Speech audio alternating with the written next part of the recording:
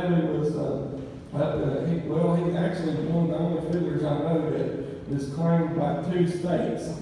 So, he was that good, so he's claimed by Kentucky and West Virginia, so uh, he lives somewhere on the border there near the Tug River, but this is a, a common tune is Ida Red, but the way Ed Hammond did Ida Red was a little bit different, so we'll play his version of Ida Red. Thank y'all so much for being a great audience this week.